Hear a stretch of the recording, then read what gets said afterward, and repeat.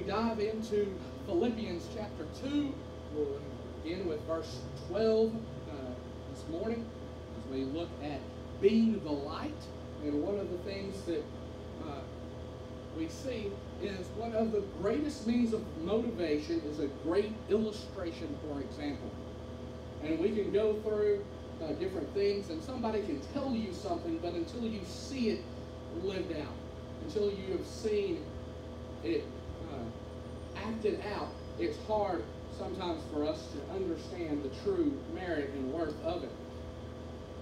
And it's always one of my favorite movies about this time of the year uh, to watch, to get me pumped up and ready for uh, football season is the movie Rudy. About a little boy who dreamed of nothing more than being a fighting Irish from Notre Dame. He wanted to play on the football team. He did everything he could. He volunteered with a, a student group so that he could go and just spray paint and polish the helmets just so that he could be part of the Irish. And then he finally made it onto the team, and the uh, coach that he had said, Well, you know you're not the best, but I'll let you play. One game in your senior year. Well, that coach didn't stay for his senior year, and the new coach came in and didn't want to have anything to do with them, and nobody wanted uh, him to play. And then you have all these team members that came in and laid their jerseys on the coach's desk and said, "Let Rudy play for me. Let Rudy play for me." And so the coach had nobody on the team play for, play with him. And all the jerseys are piled up there. So he finally puts Rudy in, and he ends up uh, being the only player to have ever been carried out of the stadium on the shoulders of the players. And it's a great story, and it's a great movie to see when you show leadership and you show um, that you are hardworking and you're willing to do whatever it takes, that people will follow and respect you. As we left off last week, Paul showed the greatest example of humility, of what humility looks like in the fact that Jesus humbled himself, emptied himself out, and took on the form of a lowly servant, came to earth, left the splendors of heaven, so that we could accept that amazing grace that we just sang about. So that we could be a child of a king and know that he will walk beside us all the way and provide for our needs. But Paul goes a step farther here, beginning in verse 12 or 18 and tells us there is something else that you need to be doing. So if you have it with me, stand as we read Philippians chapter 2, verses 12 through 18.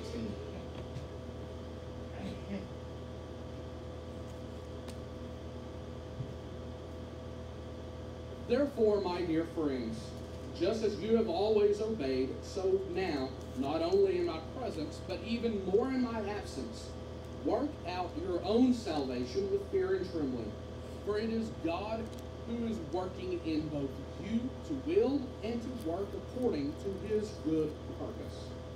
Do everything without grumbling and arguing, so that you may be blameless and pure, children of God who are faultless in a crooked and perverted generation, among whom you shine like stars in the world, by holding firm to the world holding firm to the word of life, then I can boast in the day of Christ that I didn't run or labor for nothing.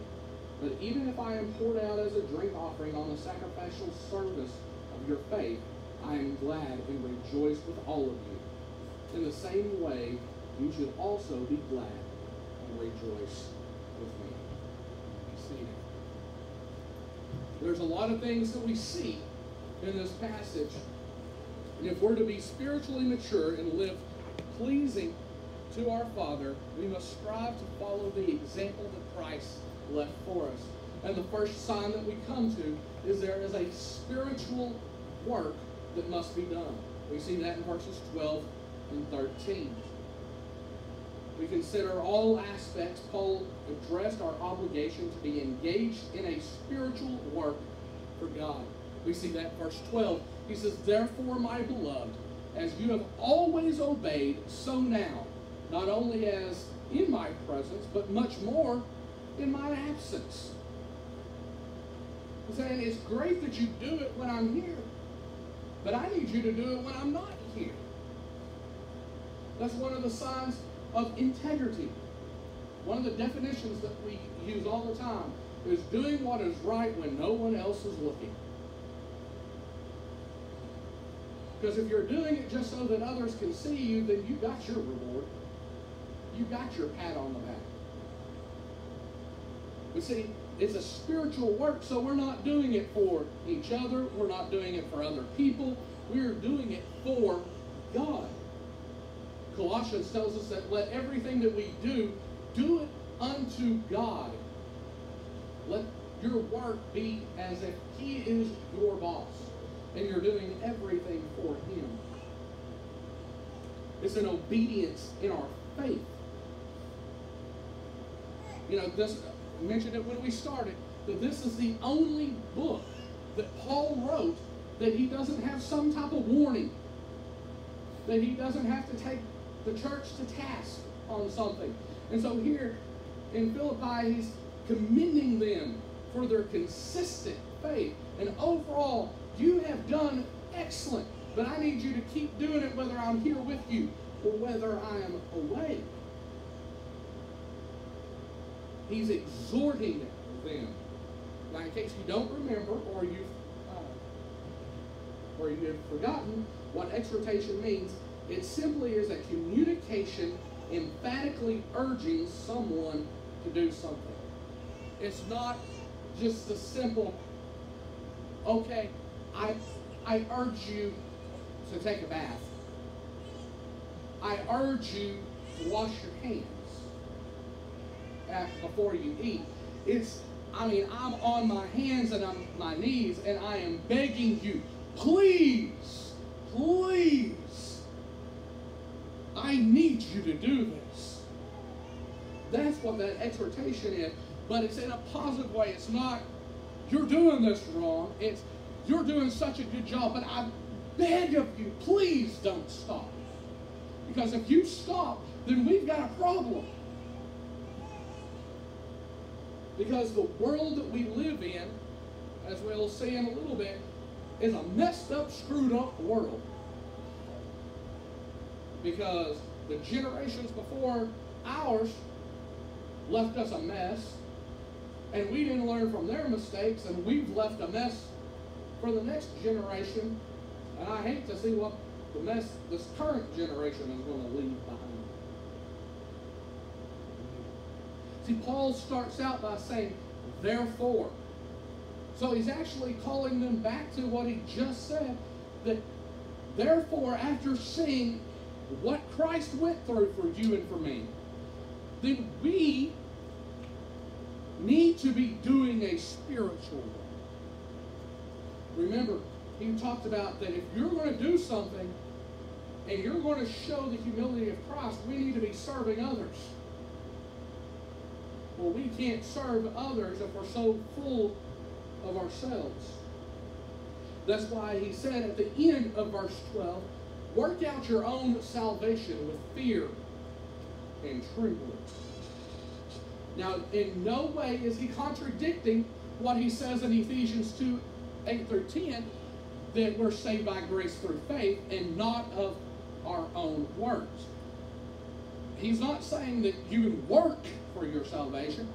What he's saying is, because you have salvation, you need to be working. It's going along the same lines that James told us in chapter 2. Be doers of the word, not just hearers only. If you have faith, you see here in verse 17 of James chapter 2. So also faith by itself, if it does not have works, is dead. But someone will say, You have faith and I have works. Show me your faith apart from your works, and I will show you my faith by my works. See, if we're just doing things on our own, and it's not because of our faith that we're doing it, then all we're doing is going through the motions. And for too long, for too many years, for too many people, that's all church is. Is let's go through the motions. Well, it's Sunday, that's what we do. We come to church. I joked about it last week that growing up, I had drug problem. I was drugged to church every time the door was open. It didn't help that Dad was a deacon, so he had a key to the church, so we were there even when nobody else was there. Saturday nights, you knew exactly what you were doing. You took your shower, then you laid out your clothes for church in the morning, you polished your shoes, you had everything ready, so all you had to do was get up, get dressed, and get to church. And before anybody else was there, there we were. And after everybody else left, there we were. It was a given that you were going to be in church because that's what you do. In my mind. And their mind is what you do because of your love and your dedication to Christ. To me, growing up as a kid, I didn't have enough intelligence to understand that. It was just something that you always do. You know it's important, but that's it. He's saying, I need you to know why you're doing this. I don't need you just simply to come because that's what you're supposed to. I need you to come because, one, you want to be here, but two, because you know there's something for you to do here. We're not called to be bumps on a log or bumps on a church pew. We are called to be workers in the field for Christ. Whether that be outside telling people about Christ, or it can simply be being present in the building, cleaning the pews, cleaning the bathrooms, cleaning and taking out the trash. All of that is important tasks that take place and it's not because we're doing it so that somebody walks into the bathroom or walks into a room and sees the empty trash and say, Oh, wow, they cleaned, aren't they good? This must be a wonderful church. We're doing it because that's what God wants us to do. Because we see in verse 13, Paul tells us, For it is God who works in you, both to will and to work for his good pleasure. That's where it all comes down to. We work spiritually because God has put it in our hearts to serve Him. When we don't serve Him, we can't ever expect Him to bless us, to reward us. Paul knew the Philippians would question how such a thing were possible. Through mere human effort and ability, it is impossible for us to do what is good. Remember, Romans 3 tells us that we are nothing but despicable. The best that we could ever do in our entire lives combined into one big event is still not good enough for God to even blink an eye of approval to us. Paul tells us in chapter 7 there's a war going on. And the things I want to do is the very things that I don't. And the things that I hate are the very things that I do. What a wretched worm am I. Okay? Nothing we can do is ever good. And we're a worm. A worm, and not just a worm, a wretched worm. Yeah, we're really good. So how is it possible to do things good for God? Because God puts it in our hearts and in our minds and in our souls to do it. And the way that He does that is because not only are we physically working, but there's a spiritual work that we are diving into His Word. We're studying not for a lesson, but studying, as He tells a young preacher named Timothy, study to show yourself approved. a worker who does not need the That we can see what God has for us. Not just for everybody, but us specifically. We have the ability to serve the Lord correctly because He provides us the ability. It's a humbling thing. The, knowing who you and I are and how worthless you and I are in our sins, that God could still look down at us and say, you know what? I love them and can use them. And then He gives us a job to do. We've absolutely nothing to boast in of ourselves because we can't do this of our own doing. You tried to do something before, messed up completely, miserable. Me and Dad tried hanging the door. that, that was a disaster. So we got smart. We'd get the one that's all put together. Has the trim and everything. All you got to do is slide it in. That didn't work much better either. Doesn't help when you don't look at the instructions either. Like the, the father on Christmas Eve that was putting together a playhouse for his, uh, his children. He stays up all night long putting it together, and he finally has it built. And kind of looked and said, "Well, it looks a little lopsided," but he kind of pushes on it and said, "Well, it seems a little sturdy." He looks down and he's got all these parts laying on the floor, and his wife comes in and says, "Well, what are those for?" Uh, they're just spare parts.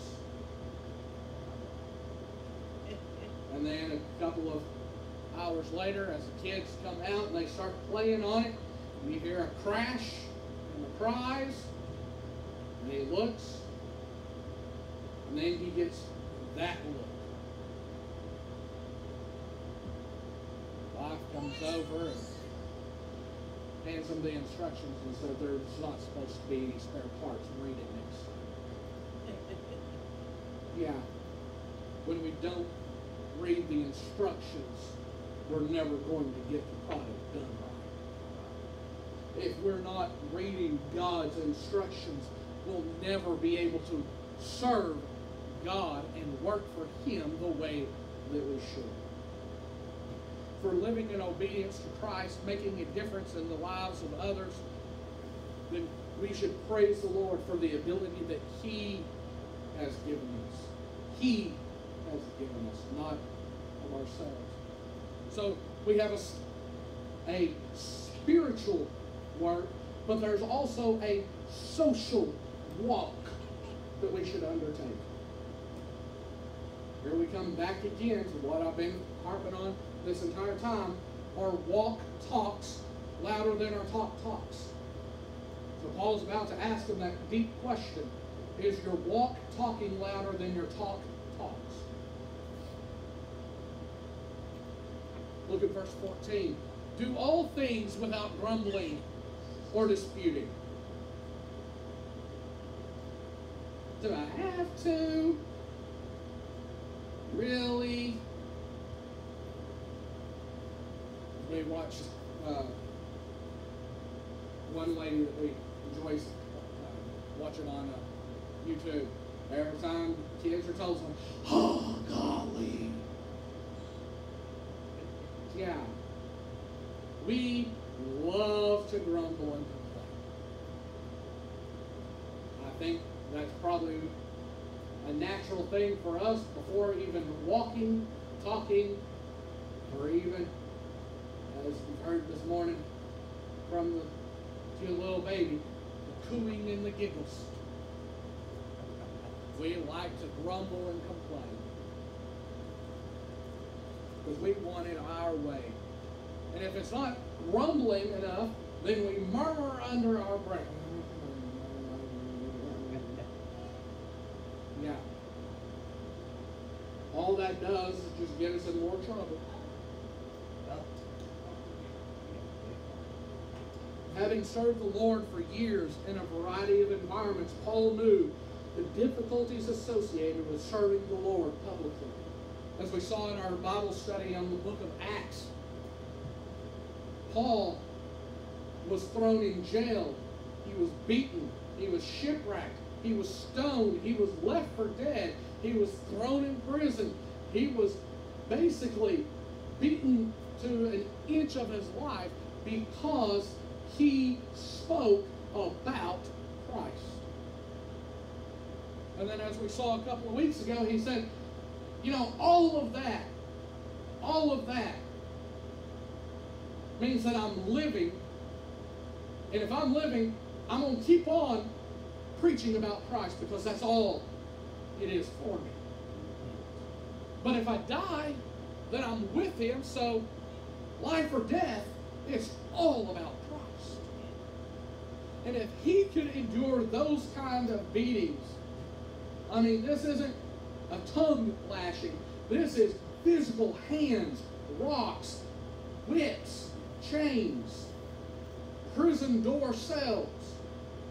If he could endure all of that because he knew that God was that important and letting people know that they had to turn their lives over to Jesus Christ to ever have hope and peace in this world and to ever have a future. If he could go through all of that, then we don't have any excuse.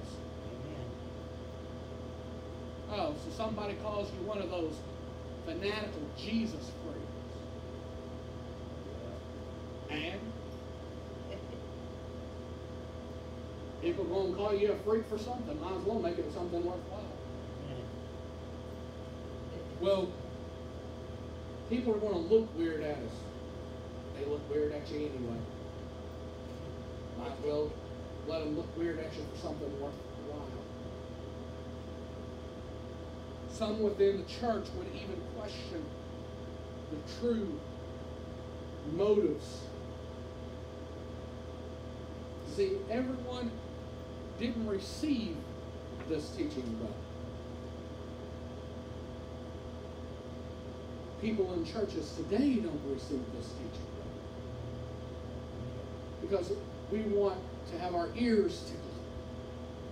We want something that makes us feel good, make us happy. So that we go out and we have a smile on our face until the world slaps us across the face and then we're a basket case for a week until we can come back and hear something nice and makes us feel like we can just dance through the tunes all the time. Yeah. Christianity was never called wimps. It takes real men, real women to profess their love for Christ. And especially in a world that we live in today. Because people would do everything they could back then, and even more so now, that they would do everything to mar our image as believers.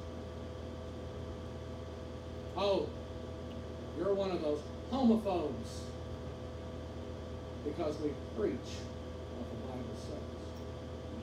But you're one of those judging Christians because we preach what the Bible says. Well, you just, you're intolerant. You don't accept anymore because we preach what the Bible says. They don't understand, we love those that are caught up in those lifestyles. We don't hate them. We love them and want them to know the truth. But we can't tell them, oh, well, it's okay, God. God will forgive you. It's okay. Yes, He will forgive you if you turn from that. Just like He will forgive you from stealing if you turn from that. He will forgive you from lying if you would turn from that. He's not going to forgive you when you keep doing the same thing because you're really not sorry. You're just sorry if somebody found out. We often want to lash out when someone wrongly accuses us or questions our motives. But that's not bringing people to Christ when we bite their heads off. And the reason why we don't need to murmur and complain is because what the first part of verse 15 tells us. So that we may be blameless and innocent, children of God without blemish in the midst of a crooked and twisted generation. The King James Version puts it in the midst of a crooked and perverse nation. That doesn't leave much. When we live in a nation where it's easier to condemn Christians than sinful behavior, there's a problem. When it's okay for us to riot in the streets, to burn down buildings, to kill people, to murder unborn children, to get my vengeance, and that's all okay. But heaven forbid you step foot into a church house, there's a problem.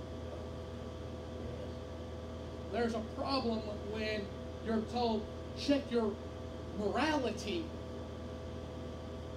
and your beliefs outside the door when you go to vote. There's a problem. When we are told that we have to be accepting and tolerant of everything under the sun, there's a problem when it goes against what God's Word says. Nowhere are we told in Scripture that it is okay for us to be with the same sex. Nowhere in Scripture does it tell us that God made a mistake when He created us. And that you could be a boy today and a girl tomorrow and then a boy again the next day. However, you want to identify yourself as. You know what? I want to identify myself as a dog. That way I can just lay and sleep and people will bring me food. And I get petted all day long.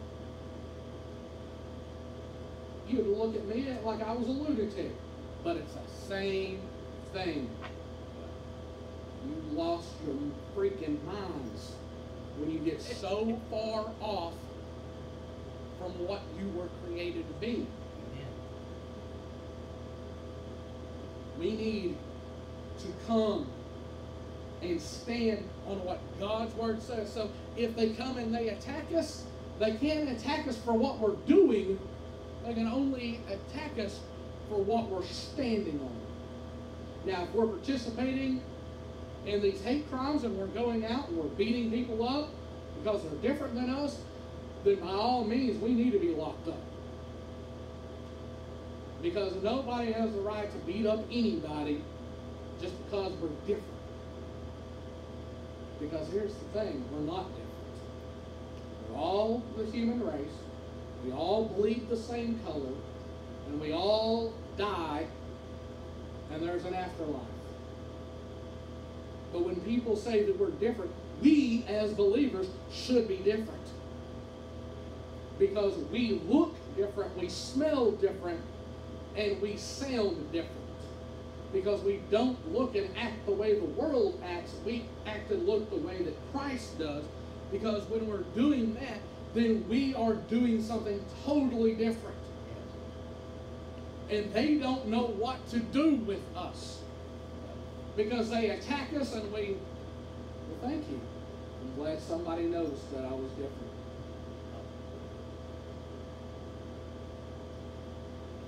Tell Landon all the time when somebody would get on him or would um, make fun of him, just laugh and agree with them. You're stupid. Yeah, I am pretty stupid.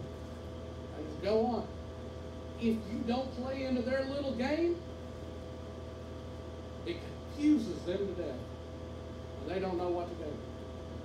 Because they're coming after you so that you'll come back after them. Or even better, yeah, I make stupid mistakes. But God loves me in spite of it, He saved me. He can save me too. They really don't know what to do then. It's amazing how quiet they get. The believers in Philippi were reminded that they were to present themselves in a manner that was pleasing to the Lord, without rebuke, as they presented Him in the midst of a crooked and perverse people. If the people that we come in contact with think that Jesus is a Mr. Rogers type of a person, or he is a uh, Maximus type of person from uh, from Gladiator, then they have a mixed up view of who Jesus really is. Because what people think of Jesus is based upon the Jesus they see in us.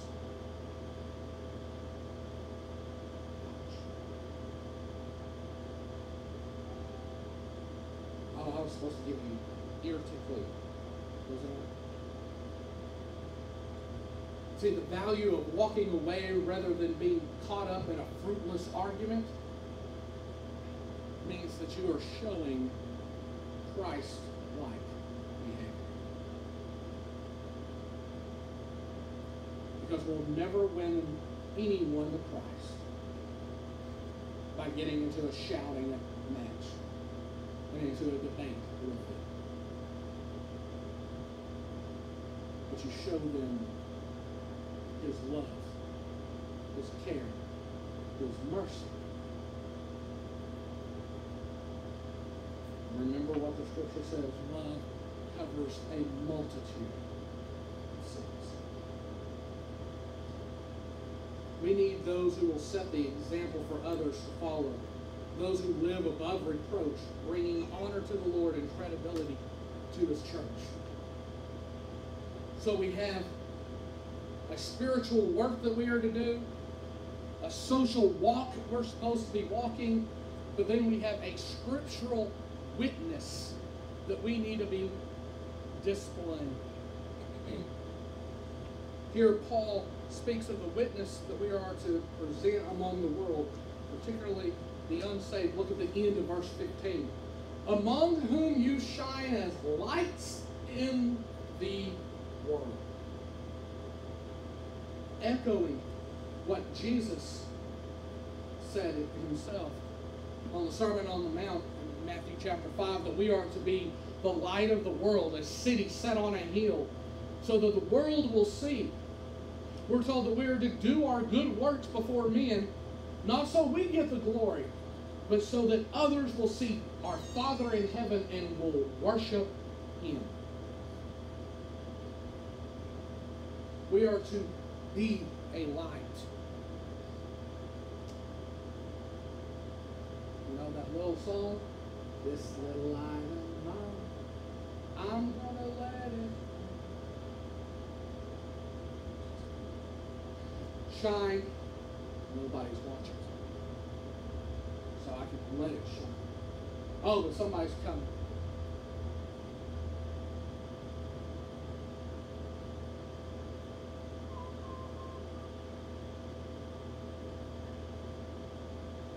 This little light of mine, now that they're gone, I can let it shine.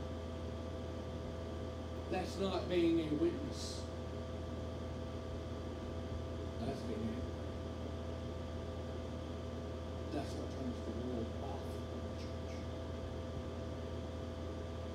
We are called to be witnesses of Him, and not just witnesses of Him, but a scriptural witness, which means that what this Word of God says about us, we live up to it. We do what it says, because it's amazing. If we do what it says, it does what it says. If we live according to it, God upholds his end of the bargain and he does what he says he'll do. We need to shine for Jesus. The darker the world gets, the more noticeable our light will be if it will shine. Verse 16 tells us a way that we can do that is by sharing the gospel with others. But we need to hold fast to the word of life. Shining for Christ was imperative. But that alone wasn't enough. If we just share and that's it, they'll never see how to live it. But they can't know how to live it if we aren't living it.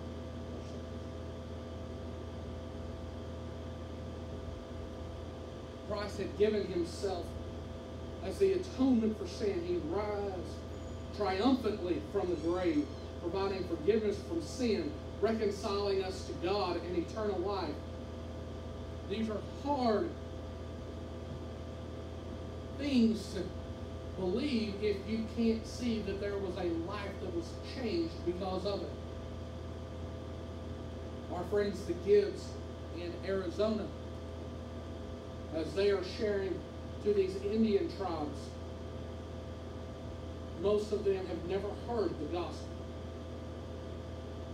And as a traditional Indian tribe, they worship many gods. Have gods for all different aspects of nature. But for them to come together and know that there's only one true God and that He has a plan for them, if they never see it in action, it's hard for them to ever believe that that can happen. We cannot and must not assume that someone else will share the gospel with those we know who are unsaved. We must share the gospel ourselves. It's not somebody else's job to reach the lost. It's your job and my job to reach the lost. Jesus told his disciples they were going out, right before he ascended to heaven, he didn't say, Now somebody out there is going to be my witnesses to the ends of the earth. He said, You are my witnesses. He says the same thing to us this morning. So someone outside of this building is going to be my witnesses. He says, You sitting here this morning, you standing here delivering this message this morning, are my witnesses. Now get up, go do something.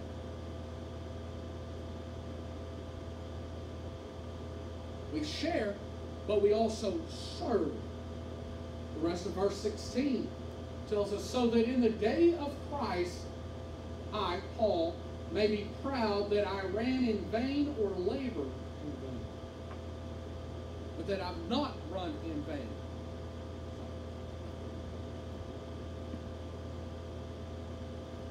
Paul reveals that their faithful servant brings rejoicing because being faithful to serve others means you're doing what you've been taught. As parents, we don't just teach our children what's right and wrong. At least that's not all we should be teaching.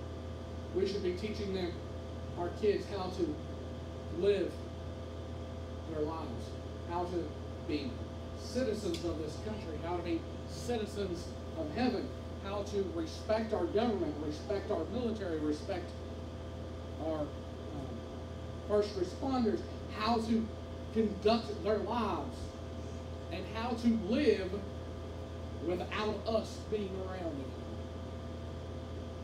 Because if all we do is coddle them and hold their hands and give them everything they want or desire, what's going to happen when mommy and daddy are gone and they're left by themselves, they're going to be completely lost. They will have no clue on how to even turn on a microwave. If we do that for our children, why has the church stopped doing that for God's children? Why have we, as God's children, stopped doing that for our brothers and sisters? We need to be showing others that we do this for God. Our faithfulness to the Lord encourages us, knowing that we will give account for our actions. Everything that we say, everything we do, we are accountable for.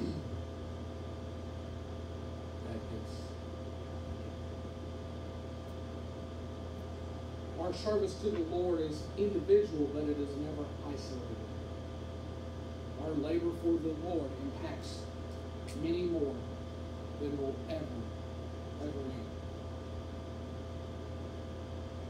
Because you never know what little bit of kindness that you show today has a ripple effect down the years to affect the next generation of people.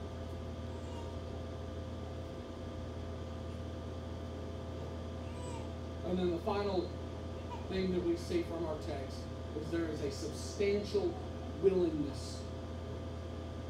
In the closing verses, Paul discusses the believer's willingness to serve the Lord. Look at verse 17. He tells us, even if I am to be poured out as a drink offering upon the sacrificial offering of your faith, I am glad and rejoice with you all. That's pretty big. It's not just talking points or to make uh, look good or sound good or endear the people to Paul. He's not being a politician, he's being sincere. I know my time is short. I know I'm going to die very soon. Remember, he's writing this in a Roman jail cell, and according to most believers, it was I mean most scholars, it wasn't a whole lot of years after that he was put to death. I know my time is short. I'm willing to be poured out, but knowing that your faith is strong and you're living your faith out and letting your light shine, I rejoice with you. Now, isn't that what we should be doing? Isn't that what we should be saying? That if our life was to end right now and we didn't make it out of this building, would others know that we meant what we said when we said it inside those walls? Are we just saying it because this is church and we don't live it when we get outside? He was genuinely committed to serving the Lord and serving the gospel and sharing the gospel, even if it meant his life being ended. Are we willing to do the same thing? Are we willing to share the gospel and to speak the truth and live it, even if it costs us everything? Our house, our family, our friends, our money. And if you don't think it couldn't happen, just wait when the government starts telling you you can't go to church. It's not going to be that much farther until they get the stupid idea that King Darius did, and told Daniel, you can't pray either.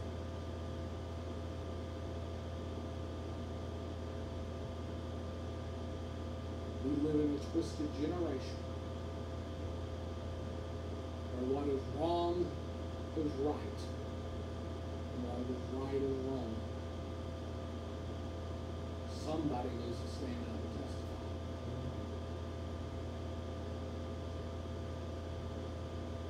If look out the majority of the protesters that have been going around, the majority of the protesters are aged 30 and below. Unfortunately, the majority of the rioters are ages 25 and below. We're going to protest, let's protest something worthwhile. I'm not saying that they weren't, but there's nothing worthwhile to riot over.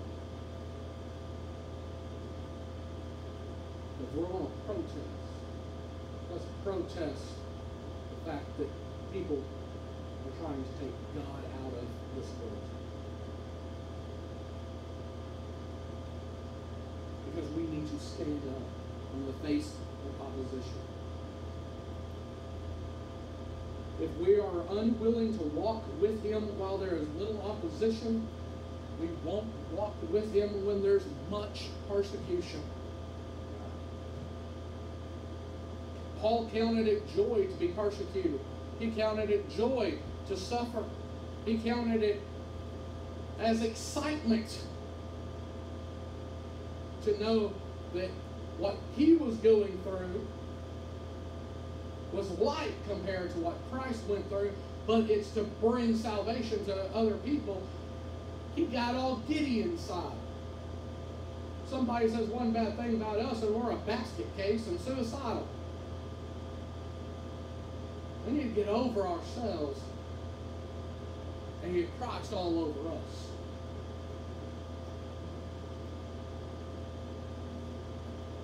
You see, we need to rejoice with those that are sharing and preaching, and suffering for the name of Christ. Paul tells us in verse 18, likewise, you also should be glad and rejoice with Paul knew that the Philippian church was strong in their faith. They shared the commitment of Paul and were willing to stand boldly for Christ. They were mature, who counted it all joy to serve the Lord. Can that be said of us this morning? That we are bold in sharing our faith. That we don't back down in the face of persecution. The modern church needs to share this enthusiasm of faith. And unfortunately, we have done nothing but back down there is a tendency to separate, in a sense, from the body of Christ when many leave the buildings. This building that we are in this morning is not the church. It is just a building. We are the church.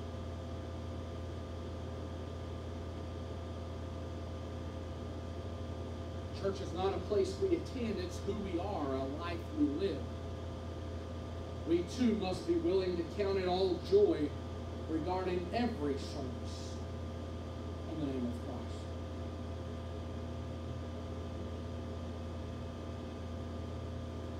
Regardless of what we face, if we are afforded an opportunity to share the gospel and witness for Christ, we're blessed.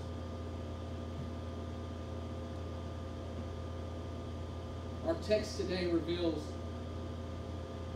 what that actually looks like to have the same mind of Christ. And it's sobering.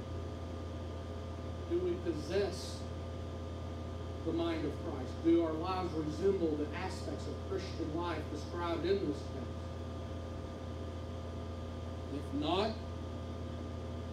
they should. And to be honest, we all have room for improvement. So as we prepare for our invitation this morning, do you sense a need to draw closer to the Lord while striving to obtain the mind of Christ? Do you sense a need to draw closer to the Lord while striving to obtain the mind of Christ? Do you know Him in a personal way as your Lord and Savior? Because if you don't, you're missing out. And instead of persecution, in the end you will have prosecution. Or because of your sin that you have not turned over to Christ and asked Him into your heart, you will spend eternity in a place that is very real, that is very horrible, called hell. Where there will be no escape. But here's the greatest thing. There is nothing that you and I have ever done that is so far that God can't forgive us. If we would just call. Come to the cross and receive the strength to be the light to the world. Come to Christ for the needs we have in our life. Let's pray. God, we thank you that you love us and that you gave us your Son as an example of how we are to walk in the Word. May we strive every day to have your mind, that we are willing to serve others, to share and live out your word. That we will stand on what your word says and walk in your as the world lives. And may we rejoice with those who share and suffer for your name. Give us the desire and the love